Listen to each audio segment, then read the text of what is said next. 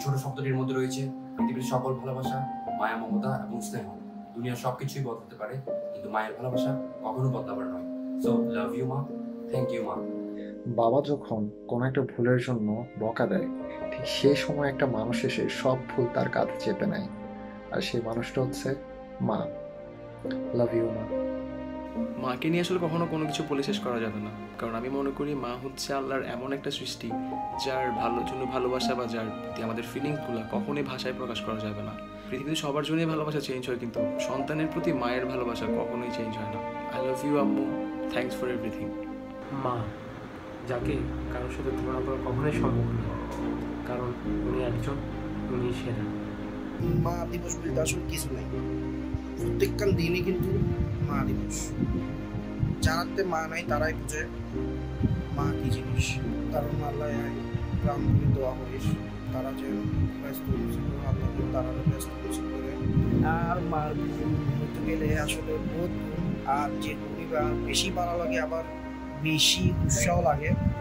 উনি হইলেই ভাই দশটা তুন রাইতে দশটা তুন, দশটা ফাঁস হইলে এই কল দেওয়া শুরু হয় দোকানে তাই যে কর তুমি কি তিন দিন লাগতে না? আজই আই তো বাফের লাগাই তিনটে দুদিন দশটা তো বাড়াতে হইবেন মারা কষ্ট দিবেন। থ্যাংক ইউ আল্লাহ। মা এমন একটা জিনিস যার ঋণ কখনো শোধ হয় না। মা এমন একটা জিনিস যে শব্দটা শোনার সাথে সাথে সন্তানের অন্তরে নাড়া দিয়ে ওঠে। আমার মার ক্ষেত্রে বলব, আমার মা, আমার কাছে আমার মা পৃথিবীর শ্রেষ্ঠ মা। বিকজ আমার প্রত্যেকটা জিনিস আমার এখন পর্যন্ত আমার যে পরিমাণ সাপোর্ট আমার মার কাছ থেকে আমি অনেক সাপোর্ট পেয়েছি। মাঝে মধ্যে একটু মার সাথে মানে ঝগড়া হয়। কোনো কথা একটু এদিক সেদিক হলে হয়তো বা একটু উচ্চ স্বরে বা কথা বলি। যে জিনিসটা বুঝি যে মা একটু মনে কষ্ট পেয়েছে। সাথে সাথে গিয়ে মাকে জড়িয়ে ধরি। জানি মা রাগ, মার রাগ ভাঙানোর জন্য মাকে গিয়ে জড়িয়ে ধরি। আসলে মা জিনিসটা, একজন সন্তানই বলতে পারে মা জিনিসটা কি? একটা জিনিস যেটা আমার মাকে আমি ডিরেক্টলি কখনোভাবে বলে নাই। আম্মু আই লাভ ইউ মা, তোমার অনেক ভালোবাসি। তুমি না থাকলে আজকে এখানে আসতে পারতাম না এত ছোটবেলায় আম্মুকে অনেক ভয় পেতাম। কিন্তু এখন বুঝি আম্মুর চেয়েও ভালো বন্ধু আর কেউ হয় না। আমার আম্মু অনেক বেশি স্যাক্রিফাইসিং আর ধৈর্যশীল। আম্মু, আমাদের জন্য এত কিছু স্যাক্রিফাইস করছ আর আমাদেরকে ধৈর্য সহকারে বড় করেছ সেই জন্য থ্যাংক ইউ সো মাচ একটা স্টোরি বলি আম্মুকে নিয়ে, আর স্টোরিটা হচ্ছে তিন চার দিন আগের। আমার সকালবেলা অনেক বেশি মাথা ব্যথা করতেছিল। ঘুম থেকে ওঠার পরে দেন আমি আম্মুর কাছে যাই যে, আম্মু, আমার মাথা ব্যথা করতেছে। বাট এই কথা শুনে আম্মু আমাকে ইচ্ছা মতো বকাঝকা করে যে, সারাদিন ল্যাপটপ মোবাইল ইউটিউব নিয়ে পড়ে থাকোস। এর জন্যই মাথা ব্যথা করে লাইফস্টাইলটাকে চেঞ্জ কর। এরপর কি বকাঝকা শুনে আমি চলে আসলাম রুমে বাট অনেক বেশি মাথা ব্যথা করতেছিল। আবার আম্মুকে ডাকি, দেন আম্মু আসলো। এসে মাথায় পানি দিল, দেন বাম লাগাচ্ছিল। এরপরে আমি যখন ব্যথাটা কমে দেন আমি ঘুমাই দেন বিকাল ওঠার পর আম্মু আমাকে ডক্টরের কাছে নিয়ে যায় দেন ওখানেও যত ট্রিটমেন্ট করানোর দরকার ওগুলো হয়। সো আম্মু হচ্ছে এটাই মানে বকাঝকা দিলেও সবচেয়ে বেশি টেক কেয়ার আম্মুই করে। সো থ্যাংক ইউ আম্মু। আমার জন্মের একুশ দিনের মধ্যে আমার নিউমোনিয়া হয়। আমি এখনও পর্যন্ত আমার দাদুর মুখ থেকে শুনি, আমার আম্মু একটানা দু তিন দিন কোনো ধরনের খাবার খায়নি একদম কোনো ধরনের খাবার খায়নি আমি তার কাছ থেকে দুগ্ধ পান করতে পারতেছি না সেই জন্য সে একটানা দু তিন দিন না খেয়েছিল, যতক্ষণ পর্যন্ত না আমাকে খাওয়াইতে পারছে এত বড় স্যাক্রিফাইস এত বড় কাজ কখনো মা ছাড়া কেউ করতে পারে না। থ্যাংক ইউ সো মাচ মা কোনো সন্তানের পক্ষেই সম্ভব না মাকে নিয়ে এক লাইন বা দুই লাইনে কোনো কিছু বলা। ছোট্ট একটা ঘটনা শেয়ার করতে চাই।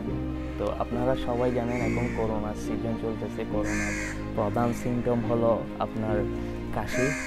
তো আমার মাঝে মধ্যে কাশি হয়, ঠান্ডা লাগলে কাশি হইলে আমার আম্মু আমার জন্য গরম পানিতে মধু দিয়ে নিয়ে আসে এবং এটা জোর করে খাওয়ায় আমাকে। যদিও আমি বিরক্ত হই, কিন্তু এটা আমার ভালোর জন্যই করে এবং সেটা রাতের একটা হোক, দুটা হোক, তিনটা হোক, যতটা বাজে হোক, উনি উঠে যায় আমার জন্য। তো আমার মনে হয় সবার মাই এরকম করে। তো মাকে কোনোদিন বলা হয় নাই ভালোবাসা জাহির করা হয় নাই। তো আজকে এই ভিডিওর মাধ্যমে করতে চাই। আই লাভ ইউ আম্মু। ভালো থাকো তুমি মাকে নিয়ে যতই বলি না কেন আসলে অনেক কম হবে। কারণ মার তুলনা কারোর সাথে হয় না। সেই আমাদেরকে নয় মাস পেটে রাখার কষ্টের পরও আজও পর্যন্ত যে আমাদের পেছনে সবচেয়ে বেশি কষ্ট করে যাচ্ছেন তিনি হচ্ছেন আমাদের মা। And thank you so much আম্মু। মা আম্মু সবাই ছোটবেলা থেকেই মা, আম্মু এসব ডেকেই বড় হয়েছে? আমি ছোটবেলা থেকেই মাম্মা ডেকেছি সব মায়েরই অনেকগুলো গুণ থাকে। আমার মায়ের সবচেয়ে স্পেশাল গুণ হচ্ছে কেয়ার করা, অতিরিক্ত চিন্তা করা। আমার মা কেয়ার হচ্ছে একটু এক্সট্রিম লেভেলের লাইক বাইরে গেলে বারবার বারবার ফোন দেওয়া, দশ মিনিট, পনেরো মিনিট পর পর। হ্যাঁ এটা আমার ভালোই লাগে, খারাপ লাগে না। এটা ওভার পজিটিভনেস না, এটা হচ্ছে প্রপার কেয়ার জেনুইন কেয়ার তো আমার এটা ভালোই লাগে। কিন্তু কখনো এটা মামাকে গিয়ে বলি না যে, আমার এটা অনেক ভালো লাগে। কখনো বলা হয়নি but love her for that and thank you মামা সবারটাই তো শুনলেন।